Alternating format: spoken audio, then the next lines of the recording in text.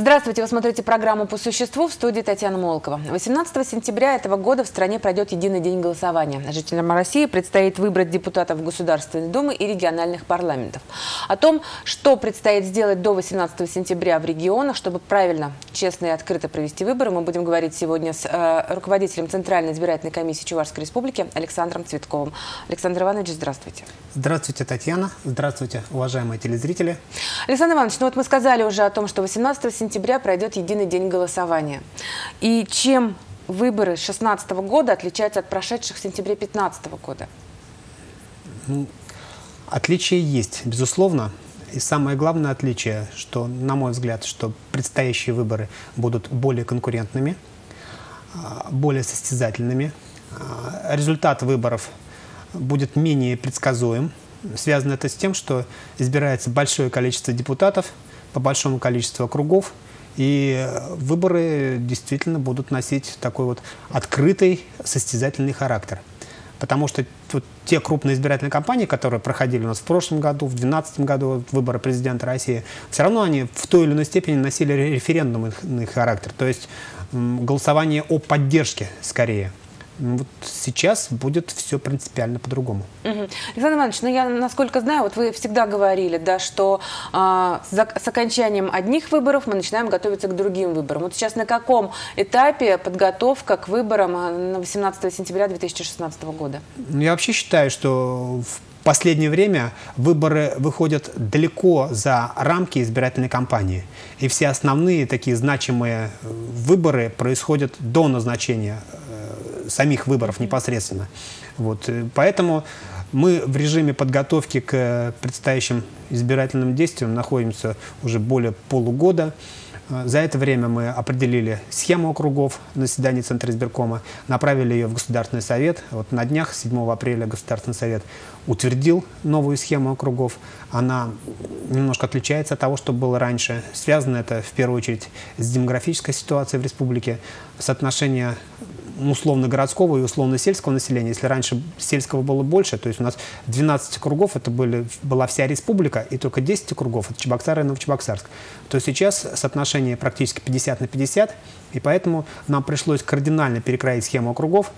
11 кругов это Чебоксар, Новочебоксарск, половина, угу. и, а другая половина вся остальная республика. Что значит кардинально перекроить? Какие районы у нас разделились, какие объединились?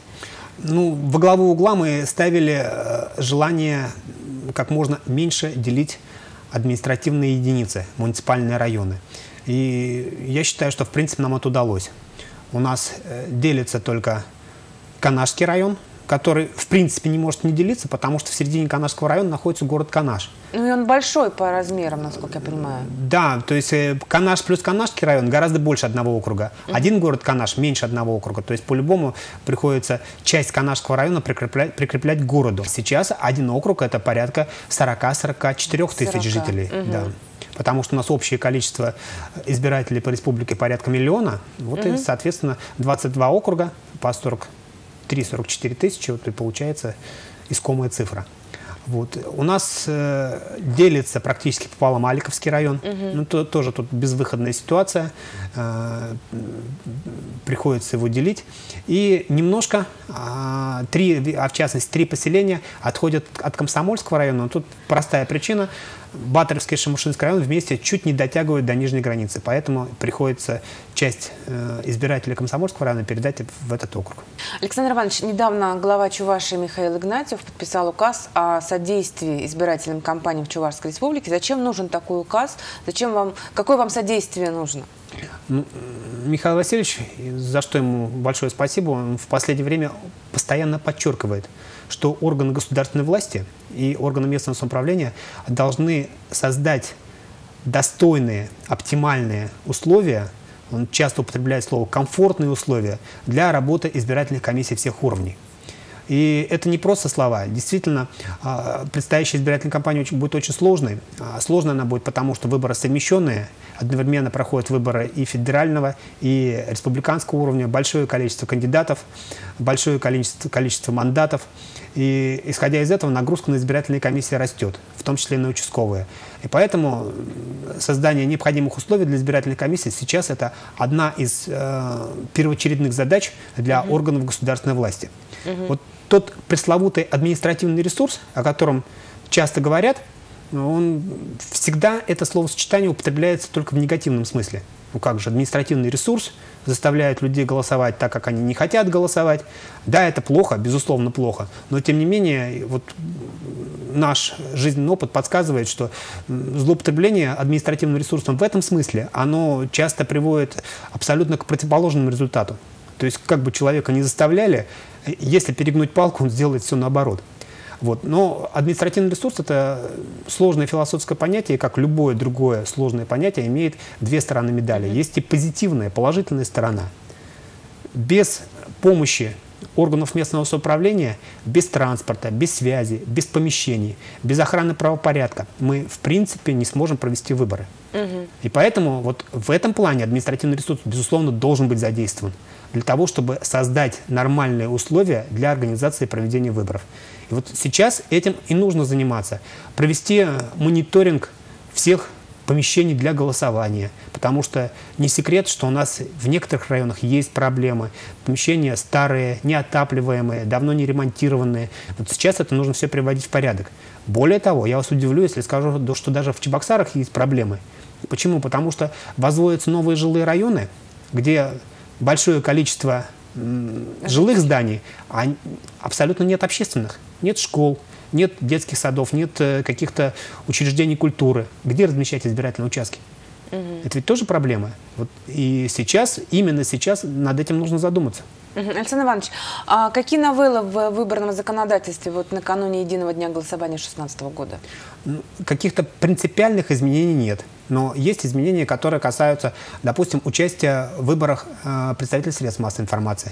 Если раньше достаточно было показать удостоверение, и э, журналисту была открыта дорога на любой избирательный участок, то сейчас э, есть определенные, на мой взгляд, разумные ограничения. Для контроля за ходом голосования – за подсчетом голосов допускаются журналисты, работающие не менее двух месяцев на профессиональной основе в том или ином средстве массовой информации, на основе трудового договора или там, иного гражданского правового договора.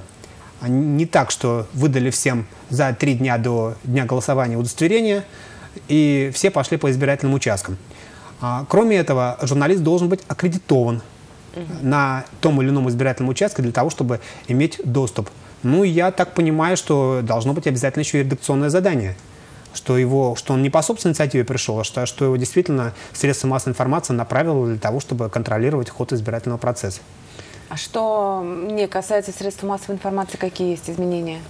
Изменения, вот э, для избирателей, наверное, самое серьезное изменение то, что у нас мы опять временно уходим от досрочного голосования, поскольку закон гласит, если э, на выборах федерального уровня применяются открепительные удостоверения, то и на всех совмещенных с ними выборах должны применяться точно такие же открепительные удостоверения. То есть досрочного голосования? Досрочного голосования на этих выборах не будет. Будут открепительные удостоверения.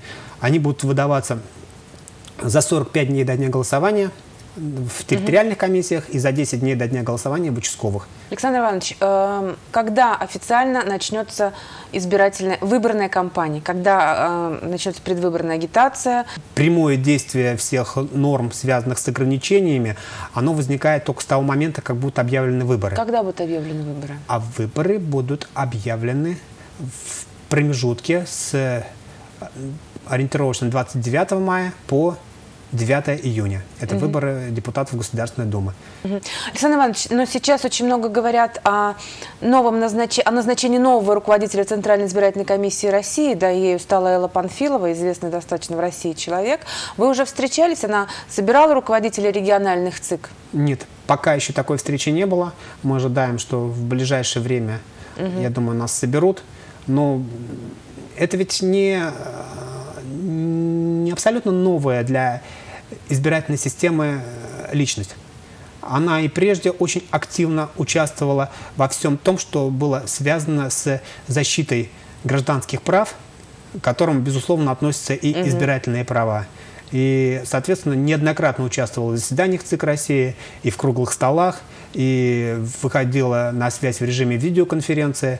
Поэтому система выборов для нее не нова.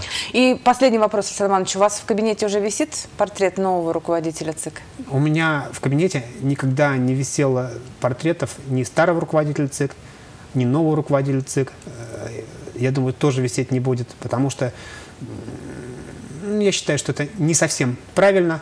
Центр избирком Чувашии – это абсолютно самостоятельный и независимый государственный орган, который выполняет функции, предусмотренные законом, не зависит ни от кого. И самый главный начальник для нас – это избирательное законодательство.